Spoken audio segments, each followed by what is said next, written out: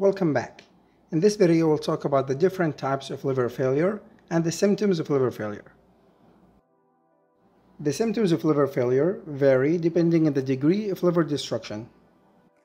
Of course, jaundice is the first thing we see, and it is the hallmark, along with itchiness. The increase in estrogen will also cause spider angiomas and erythema in the palms. The liver makes the clotting factors, so without these factors, the patient will have petechia and purpura all over the body. The venous blood reaching the liver will also stagnate and build up backwards, and this will cause portal hypertension. Portal hypertension results in esophageal varices, gastric varices, ascites, splenomegaly, and anorectal varices.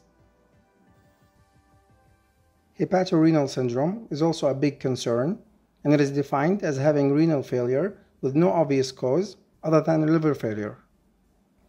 So for some reason, the liver damage will also be associated with kidney damage.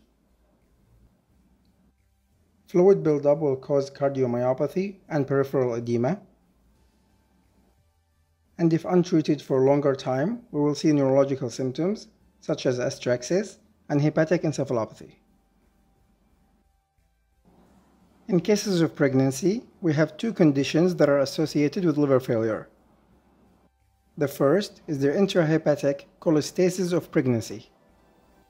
This is due to idiopathic obstruction of the biliary tree, which means that the biliary tree that normally transforms the bile from the liver to the intestine will get blocked.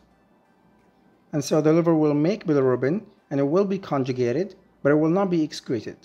So these patients will have high levels of conjugated bilirubin. And of course, this classically presents with itchiness of pregnancy.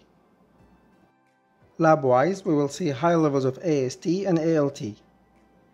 This condition resolves after pregnancy. The other condition also associated with pregnancy is the acute fatty liver of pregnancy. This is an acute and severe fatty liver failure that occurs in pregnancy and we don't know the cause.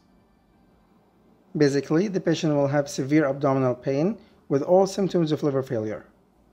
And we'll come to the symptoms in a second the levels of AST and ALT will be skyrocketing. And of course, unconjugated or indirect bilirubin will also be high because the liver is not working, so it doesn't conjugate the bilirubin. And the third type we have is the alcoholic hepatitis.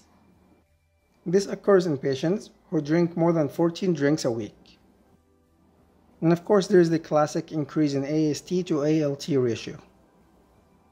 The more they drink, the higher the ratio and the more symptoms they'll have. Next we have the non-alcoholic hepatitis.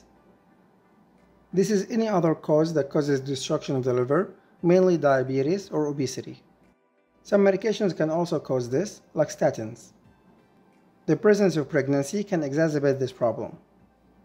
The hallmark for this type is rising AST and ALT in equal levels. The treatment of any condition depends on the cause. If we know the cause, you should treat it.